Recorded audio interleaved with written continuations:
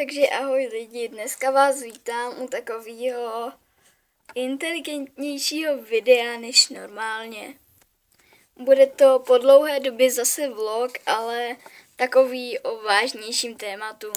Samozřejmě na vážnosti tomu hodně ubírá, že tady kroutím hlavou LPS, ale stejně je to takový vážný téma. Dneska se tady chci bavit o životním cíli. Pro mě je třeba takový životní cíl užívat si. Ale to není, že bych prostě utrácela peníze, užívala si, neučila se, protože to není zábava a tak. Třeba i takové chození do práce vám může pomoct k tomu, abyste si život užívali. He, a to myslíš jako jak?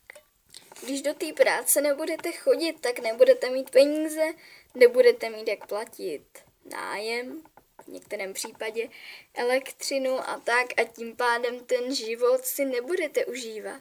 Vždycky je dobré mít nějaké peníze, ale někdo je k tomu užívání zase tak nepotřebuje. Vemte si třeba, když má člověk rád přírodu. Některému stačí prostě se projít tady někde v lese, ale hodně lidí rádo poznává nové krajiny, tak si zajede někam na dovolenou. Díky chození do školy taky jste chytřejší a můžete líp sehnat práci nebo si založit firmu a jde to všechno líp. A máte víc těch peněz, za které si můžete užívat a platit věci. Já třeba teď samozřejmě žádnou elektriku nebo tak neplatím a mohla bych ty peníze klidně všechny utratit a nic by se nestalo, ale prostě člověk si šetří. Co kdybych někdy v tom obchodě viděla něco lepšího? A i když mám hodně peněz, myslím, našetřených, tak stejně tolik neutrácí. Já jsem schopná utratit najednou třeba i tři stovky, ale zase jde o to, jak často chodíte na ten nákup, což já zase tak často jako ne, ale to už jsme se dostali zase úplně někam jinam. Já myslím, že k dospění vašeho životního cíle má, vám může pomoct i taková sankalpa – já to tady nechci moc rozebírat, protože tomu jako moc nerozumím, nebo jako vím, co to je, ale moc o tom nevím a nechci vám o tom říct něco špatně, takže si to zkuste vyhledat na Wikipedii. He. A proč nám o tom teda říkáš, když o tom nic nevíš? Já o tom vím věci a chci vám to prostě říct, ale nevím, jestli to vím tolik, abych o tom mohla nějak jako vykládat, že jsem šíleně chytrá a bůh ví co ale prostě mi to přijde takhle k tématu.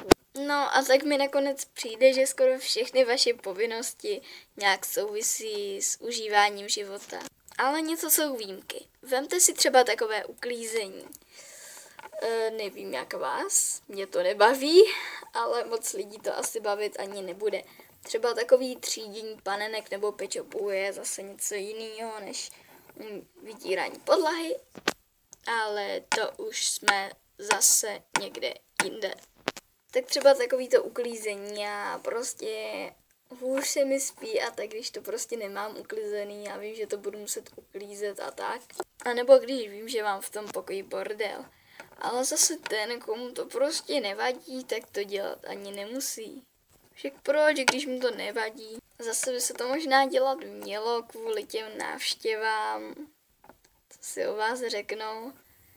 A všechno, co takhle souvisí jedno s druhým. A tak vidíte, že se od témata životního cíle můžu dostat až k návštěvám a úklidu. O tomhle ty vlogy jsou, že něco rozebíráte, někam se dostanete. A já bych byla hodně ráda, kdybyste mi napsali do komentářů, jak to vidíte vy s tím životním cílem, jaký vy ho máte a něco, co s tím souvisí. Tak zatím čauky u dalšího videa.